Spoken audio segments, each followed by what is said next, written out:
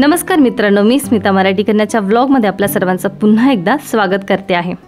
आजच्या व्हिडिओमध्ये आपण पाहणार आहोत कोकणातील जुन्या पद्धतीचं मंदिर स्थापत्य. एका खड्ड्यात राहणारा खूप मोठा प्राणी सुंदर पक्षी आणि आपल्या छोट्या प्रवासात सर्वांचं जीवन सुखकर करणारी नदी. आम्ही दुपारचं जेवण आटपून झोळांबे गाव एक्सप्लोर करायला निघालो. वाटेतच एका ठिकाणी आमच्या गाड्या थांबल्या. आणि पोरांनी सांगितलं इथे एका खड्ड्यात एक भली मोठी घोरपड कायम तिथेच असते. मग काय आम्ही दबक्या पावलांनी त्या खड्ड्याकडे गेलो आणि खोलवर डकावून पाहिलं तर एक भली मोठी घोरपड खाली आराम करताना दिसली. आता इथे ना गावामध्ये एका ठिकाणी असा एक खड्डा आहे. आणि तिथे ना खाली एक घोरपड आहे जी इथेच असते असं यांचं म्हणणं आहे. लोकेशन एक्झॅक्टली आम्ही नाही सांगणार. आणि इथे एक घोरपड ती आहे नक्की. बाहेर वगैरे येत जात असेल पण. तिचा आराम करण्याची जागा आहे जागा हीच आहे. आणि एवढी मोठी घोरपड मी आतापर्यंत बघितली नव्हती. एवढी मोठी घरपड पहिल्यांदा बघितली. आणि ती इथेच राहावी. इथेच राहा तू. इतका वेळ आपण निसर्गाच्या अद्भुत कलेबद्दल बोलत होतो पण आत्ता आपण बघणार आहोत माणसाची कलाकृती. झोळांबे गावात माहुली देवीचं पुरातन मंदिर आहे ज्यावर लाल रंगाची कलाकृती केलेली दिसते. त्याला कावी चित्रशैली असं म्हणतात. कोकणात आपल्याला सर्वत्र लाल माती सहज सापडते. त्याच लाल मातीत थोड्या प्रमाणात चुना आंबवलेला गूळ घालून तयार झालेल्या मिश्रणाला भिंतीवर लावल्यावर ही सुंदर चित्रकला करता येते. मातीच्या खांबांवर कौलारू बांधकाम असलेले हे मंदिर खूपच सुंदर आहे. इतकं सुंदर की बाहेर असलेल्या भिंतींवर खांबांवर जी कला एका कलाकाराने केली त्याला देव म्हणावं की आत असलेल्या देवीच्या मूर्तीला हा प्रश्न पडावा. इतकं सुंदर. मंदिराच्या आत माहुली देवीची मूर्ती आहे तर बाजूला असलेल्या छोट्या मंदिरात गजलक्ष्मी आणि वेताळ देव यांची पूजा केली जाते.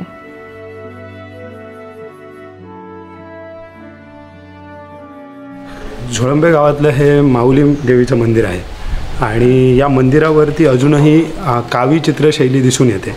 ही जी कावी चित्रशैली आहे याला फार मोठा इतिहास आहे. ही काव या मातीच्या रंगापासून काढलेली चित्र आहेत आणि ती काढण्याआधी हे जे तुम्ही खांब बघताय या खांबावरती चुन्याचं प्लास्टर आहे. आणि इतकं फाईन प्लास्टर आहे हे जसं तुम्हाला वाटेल की एक सिमेंटच आहे किंवा आपण ज्याला फिनिश्ड प्रोडक्ट म्हणतो तसं म्हणजे मी त्याला जेव्हा हात लावतोय तेव्हा ते एकदम गुळगुळीत लागतो. गुळगुळीत आहे अगदी. आणि त्या गुळगुळीत ह्याच्यावरती जी काव काढली आहे तीही अगदी गुळगुळीत करून घेतलेली आहे. आणि त्याला व्यवस्थित जसं रेखाटतात ना म्हणजे त्याला असं तुम्ही बघू शकता इथून की त्याला एक त्याची एक डेफ्थ आहे त्या चित्राची तर ह्याच्यावरती हनुमान आणि राम लक्ष्मणाचं हे चित्र आहे म्हणजे पहिले काय केलंय अगोदर ही माती लावून घेतली त्याला आणि मग त्याच्यावरती कुठल्या तरी टोकदार काहीतरी ह्याच्याने हां. पूर्ण जसे. टेन्सिल्सने आपण करतो ना तशा पद्धतीचे नक्षे कोरलेले आहेत हो. तर याचं कारण असं की कोकणामध्ये जी मंदिरं होती पूर्वी ही पूर्वीपासून कौलारू मंदिरं होती हो. आणि कौलारू मंदिर असताना त्याला आपण जर डिझाईन करायचं असेल तर कोकणामध्ये असा दगड नाही. की ज्याच्यावरती तुम्ही कार्विंग करू शकाल हो. कारण इथे सगळीकडे माती आणि लाकूड आणि खोदकाम पूर्वी एवढं व्हायचं नाही. तर मग तो दगडाऐवजी तुम्ही असलेल्या खा मातीच्या खांबांनाच हा मातीचा खांब आहे. मातीच्या खांबावरतीच नक्षीकाम कशी करावी ह्याचं टेक्निक म्हणजे कावी आणि ही अशा प्रकारची मंदिरं कर्नाटकातल्या उत्तर कन्नडा भागामध्ये गोवा आणि सिंधुदुर्गच्या तळ कोकणातल्या भागामध्ये दिसून येतात आणि ही मंदिरं आत्ता जवळपास आता सगळ्यांनी रिनोव्हेशनमध्ये ही कला हळूहळू संपली हो. लोकांनी दुसरं काहीतरी कॉपी केलं पण मला असं वाटतं की ही अशा मंदिरांची जी रचना आहे, ती शैली आहे टिकली ती पाहिजे. टिकली पाहिजे तर आता हे एक मंदिर आहे निगुडे म्हणून गाव आहे तिथे एक मंदिर आहे सातारडा म्हणून गाव आहे तिथे एक मंदिर आहे आणि गोव्यामध्ये काही मंदिरं अजूनही शिल्लक. सुंदर अशी काव्यशैली समजून घेतल्यावर आम्ही मंदिराच्या बाजूलाच असलेल्या ठिकाणी गेलो तिथे आम्ही जे पाहिलं ते म्हणजे या गावातील प्रमुख आकर्षण. तुम्ही बघताय तो चेन्नईतून एक झरा येतो आहे तर मी जसं म्हणालो की हे जे गाव आहे ना हे झऱ्यांची वर्शिप करणारं गाव आहे. आपण बघितलं की आपल्या संस्कृतीमध्ये आपण जंगलांना देवराई मानतो. बरोबर? तसं इथे झऱ्यांना देवाचं स्वरूप मानलेलं आहे. आणि हे जे झरे येतात ना हे झरे म्हणजे तीर्थ असतं. तर काही विशिष्ट झऱ्यांचं पाणी जसं हा एक झरा आहे अजून एक न्हावानाचा झरा आहे. तर या अशा प्रकारच्या झऱ्यांचं पाणी हे या गावाच्या लोकांना तीर्थ म्हणून शिगम्याला दिलं जातं. झऱ्यांवर सगळे बागायती आहे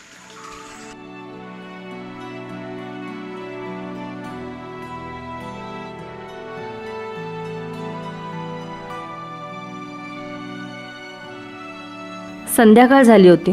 आजचा संपूर्ण दिवस इथला निसर्ग कला समजून घेण्यात कसा केला काहीच समजलं नाही. मंदिर आणि गाव मागे सोडून आम्ही आता जंगलाकडे निघालो. आम्ही प्रसादच्या मागोमागच जात होतो पण एका ठिकाणी प्रसादने अचानक गाडी वळवली ती थेट दरीतच. तर आता आम्ही हा एक पूर्ण असा एक छोटा डोंगर आम्ही उतरून इथे आलो. इथे आम्ही आमच्या गाड्या लावल्यात. आणि आता मी खरं सांगतो कोकणी रान माणसाबरोबर फिरणं म्हणजे ते ॲक्च्युली आता ते फील यायला लागलं आम्हाला. म्हणजे त्या नावाला साधेसा अशी भटकंती होती आपली. की म्हणजे माहिती नाही. एक असाच अचानक एक राईट टर्न आला डायरेक्ट दरीत तर चला जाऊया बघूया काय ॲडव्हेंचर आहे पुढे.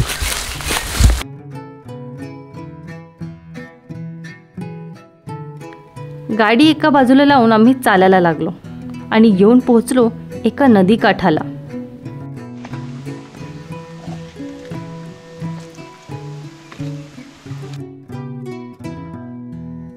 इथे समोरच एक सुंदर अशी नदी वाहते आणि तुम्हाला मी एक मिनटं दाखवते. जे इतकं सुंदर आहे मी चक्क बघत राहिली एक बराच उशीर त्याच्याकडे कारण हे हे जे स्ट्रक्चर दिसतंय ना म्हणजे ही बा बाजूला अशी दगडं आणि मधून ही जी नदी वाहत चालली आहे ना ते एकदा बघत मी हे बघा. दोन्ही बाजूला आणि मधून नदीचा प्रवाह चालला आहे इतकं सुंदर.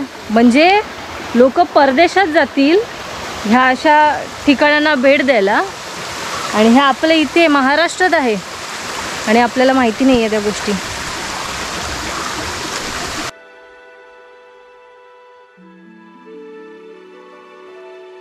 कळणे असं या नदीचं नाव. इथल्या सह्याद्रीत उगम पावणारी ही नदी आसपासच्या भागाला किती समृद्ध करत जाते हे आम्हाला इथे आल्यावर जाणवलं.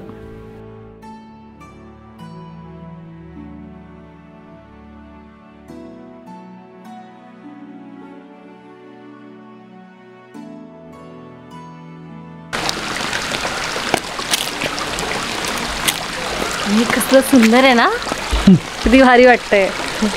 आपण का आपण केरळला गेलेलो तर इन्फिनिटी पूल आठवतोय का तो? त्याच्या म्हणजे ते तर काहीच नाही मी म्हणेन. काहीच नाही. त्याच्यापेक्षा हे भारी आहे. खूप भारी आहे. तुम्हाला मी आता पाणी दाखवतो. हे असं पाणी मला माहिती नाही कुठे असेल असं.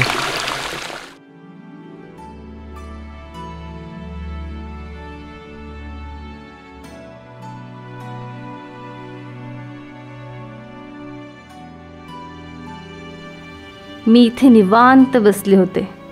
खळखळ वाहणारं पाणी मध्ये मध्ये येणारे पक्ष्यांचे आवाज ह्याचा आनंद घेत मी या निसर्गाशी एकरूप झाले होते. इतक्यात एक सुंदर असा पक्षी आमच्यावरून उडत गेला आणि आम्ही सर्वजण बघतच बसलो कारण हा पक्षी होता ग्रे हॉर्नबिल म्हणजेच धनेश पक्षी. हा पक्षी तिथेच आढळतो जिथे भली मोठी झाडं असतात. तर एक सांगायचा मुद्दा असा की हॉर्नबिल पक्षी दिसला की जंगल समृद्ध आहे असं म्हटलं जातं. हॉर्नबिल पक्षी कायम जोडीनेच राहतात. काय त्याच्या पंखांचा भला मोठा घेर? मी तर अवाक होऊन समोर जे दिसते ते पाहत होते. काय शूट करताय? त्या तिथे समोर ग्रेड हॉर्नबिल आहे. तिकडे एक आता उडत गेलेला आहे आणि इथे एक आहे. तो आता उडेल त्याची आम्ही वाट बघते तू कॅमेरा चालू ठेव ना. उडेल आता परत जाईल नाही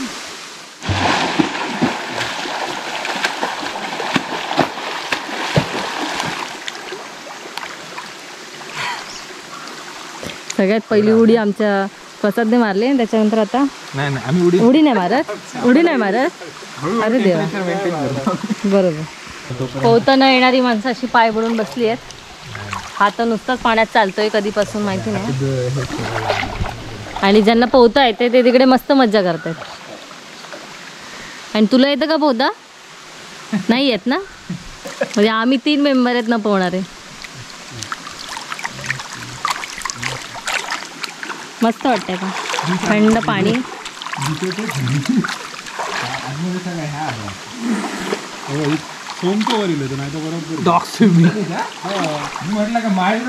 नाही मला नेहमी तेच आठवतं.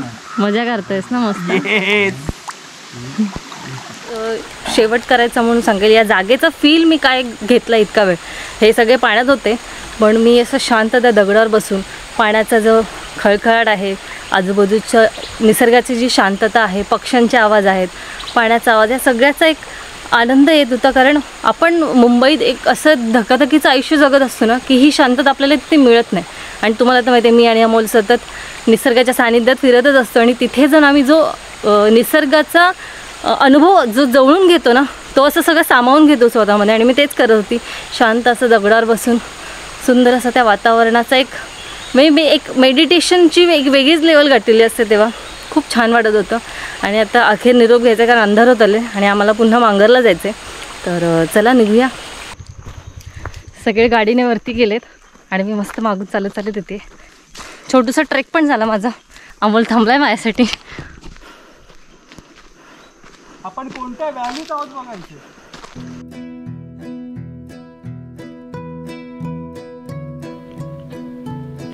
सुंदर अशा दिवसाचा शेवट करून आम्ही निघालो.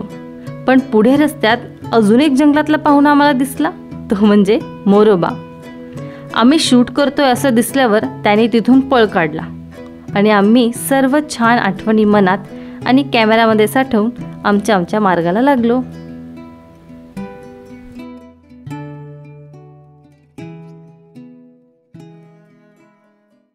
तर मित्रांनो हा संपूर्ण व्हिडिओ तुम्हाला कसा वाटला? म्हणजे आमचा तर पूर्ण दिवस इतका सुंदर गेला ना इतका छान होता. म्हणजे शरीर जरी थकलेलं असलं तरी मन मात्र पूर्ण वेळ प्रसन्न होतं. त्यामुळे आम्हाला तर खूप मजा आली. व्हिडिओ बघताना तुम्हाला कसं वाटलं ते आम्हाला नक्की कमेंट करून सांगा. आणि आमचा हा जो काही प्रयत्न चालला आहे मातीची घरं पुन्हा जी पडलेली आहेत ती पुन्हा रिस्टोर करायची. आणि नवीन घरं बांधायची असतील जर गावाकडे तर ती सुद्धा मातीचीच बांधायची. हा प्रसादचा जो उपक्रम आहे जो आपल्या चॅनलमार्फत आपण दाखवला आहे त्याबद्दल सुद्धा तुमचं मत कमेंट सेक्शनमध्ये नक्की सांगा. व्हिडिओ आवडला असेल तर तुम्हाला काय करायचं माहिती आहे लाईक करायचं आहे शेअर करायचं आहे सबस्क्राईब करायचं आहे चॅनलवरती नवीन असेल तर.